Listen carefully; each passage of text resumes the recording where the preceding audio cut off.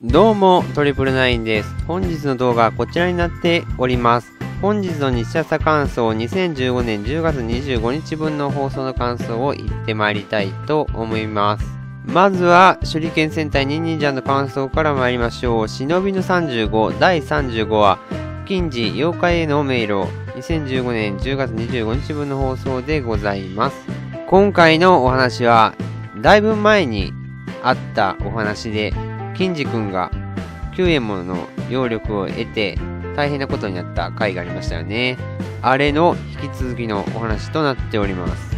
原因は狼男に受けた傷が金次君の異変を出させているとのことです。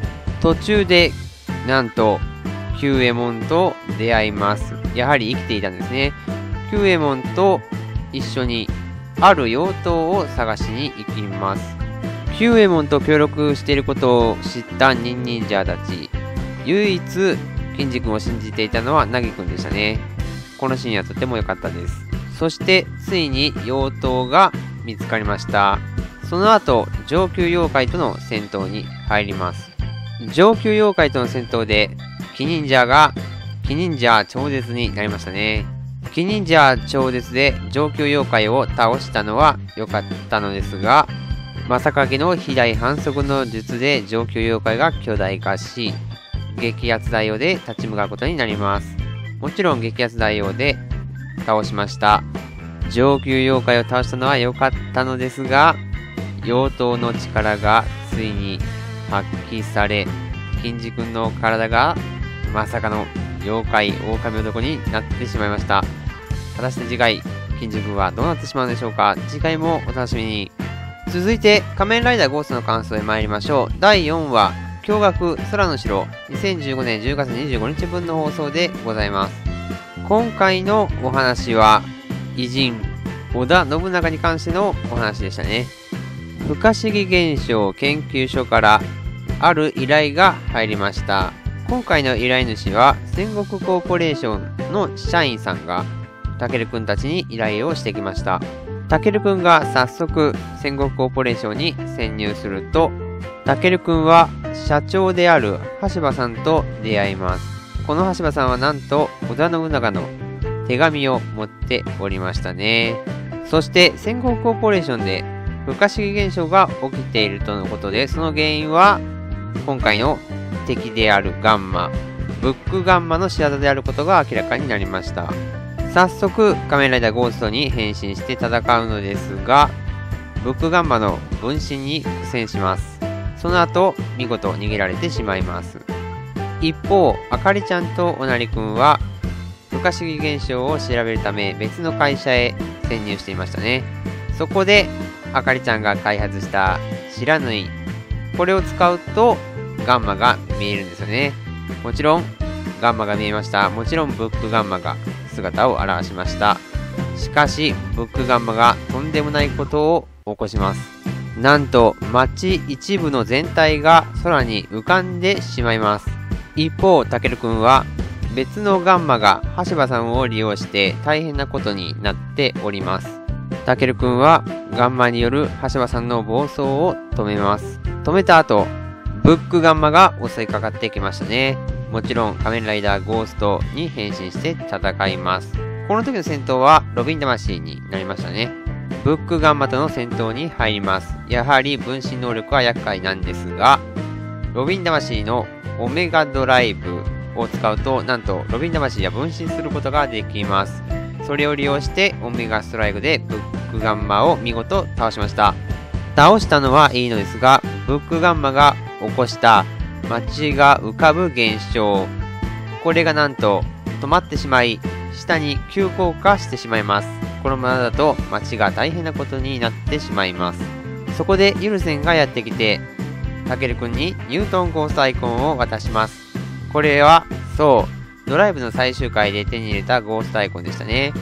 これを使うことにより仮面ライダーゴーストニュートン魂になります。ニュートン魂の力を使いなんとか急降下する街を元に戻し、たけるくんは幽霊なので、そのまま地面からひょこっと出てきて助かりましたね。たけるくんは信長ゴーストを回収すべく戻ります。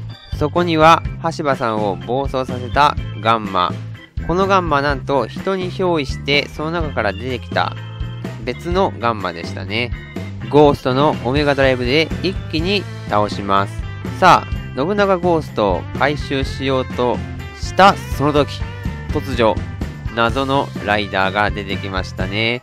これが2号ライダーの仮面ライダースペクターとなります。突如出てきたスペクター信長ゴーストを回収してしまい信長ゴーストアイコンを手にし突如立ち去りました。突如出てきたスペクターに疑問を思うたけるくん仙人に聞くと仮面ライダーは前だけじゃないと言われます。さあ仮面ライダースペクターと今後どう関わっていくのか非常に楽しみですね。さて今回はゴーストアイコンを見事取られてしまいカウントされませんでしたね。さあたけるくんが生きる日にちまであと57日となります。かなり日にちが経ったみたいですね。これは大変。そして残りのゴーストアイコンはあと12個集めなければなりません。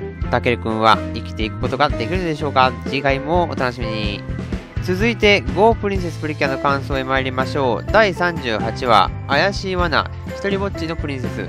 2015年10月25日分の放送でございます。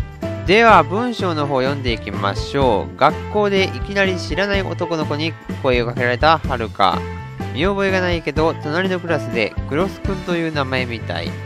クロスくんはなぜかはるかのプリンセスになりたいという夢を知っていて応援してくれます。そんなクロスくんは南の夢もゆいの夢も知っていてみんなのことを応援してくれる。なんだか嬉しくなるはるかだけどとわだけはクロスくんのことを怪しいと思っているそんな中夢ヶ浜である世界の絵本店に行こうとゆいを誘ったクロスくん気になるとわはゆいについていくことにした。一体クロスくんって何者なの？今回のお話は敵幹部であるクローズがクロスくんという生徒に化けてはるかちゃんに襲いかかってきましたね。クロスくんに話しかけられるはるかちゃんたち。しかしとわちゃんだけは怪しいと思っておりましたね。そしてクロスくんはゆいちゃんに世界の絵本店というとこに誘いに入ります。